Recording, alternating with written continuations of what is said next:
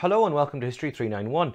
Today I want to talk briefly about draft dodging or the concept of draft dodging. Now, the, uh, the draft was reformed um, under Nixon at the very end of the 1960s to create more kind of a lottery pick style, which there's a clip uh, attached to this video today on Moodle um, of Billy Crystal, the comedian, discussing his experiences watching this on or reading about it in the newspapers the following day to see if he was drafted. Um, prior to that lottery system, there was a feeling that um, the draft was uh, unfairly taking more uh, minority men and men of modest means and everything else, particularly, for example, African American men. Now, this is a very large and complex idea. Um, the idea of shirking your duty, going on from the video um, the other day of this idea, you know, of, of, of, of the perception of the troops changing, that's a long and gradual process. And certainly, whatever way that American popular opinion is shifting and starting to switch from one that is outraged at someone who might not go um, to Vietnam versus being sympathetic to those who don't want to go. This is kind of a gradual process. So, for example, more radical anti-war protesters, the same people already out protesting in, for example, 65, 66, 67, of course, they are they support draft dodging and everything else.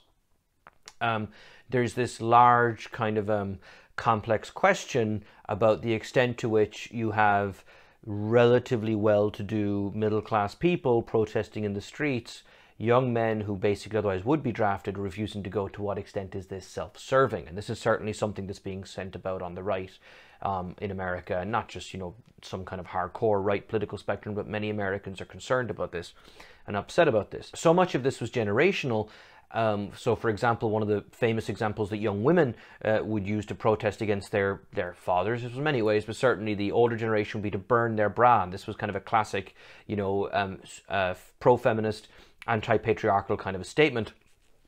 The kind of, you know, the act, the act itself was more important than the destruction of the object. And then for men, for young men to refuse to go and serve. And these things change. So by the early 1970s to mid 1970s, uh, public support has largely become very, very permissive of the idea of not going. And in fact, we've had three American presidents who were old enough to serve in Vietnam who didn't.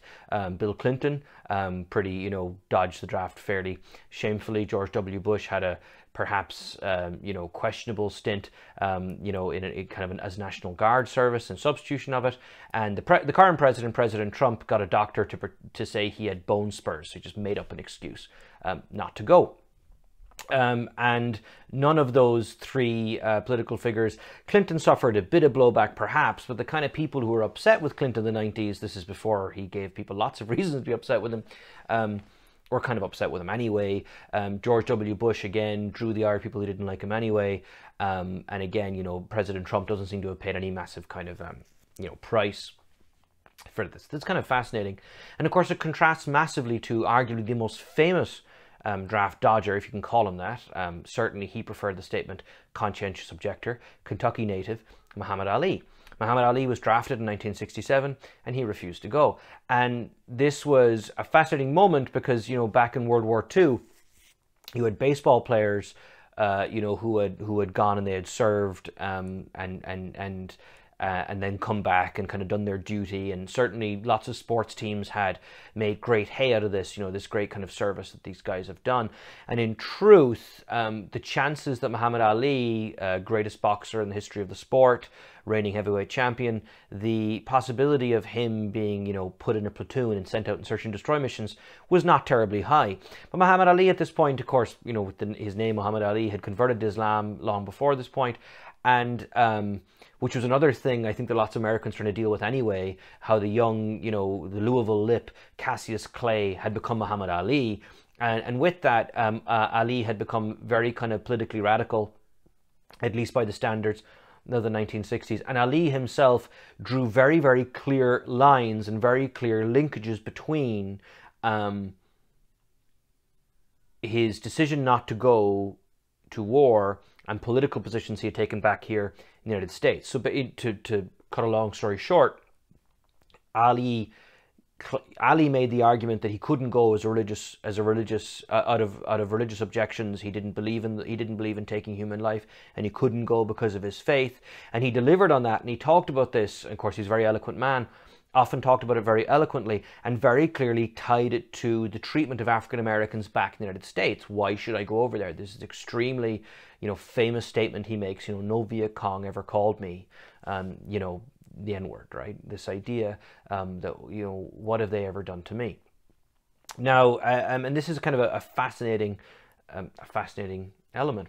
And rather than try and explain Ali's positions, what I've done is I've attached a couple of links um, to Moodle that are scheduled for today that I strongly encourage you to go um, and listen to and watch and in, in the required reading. But but um, I think watching Muhammad Ali is usually a pleasure and a fascinating, fascinating man.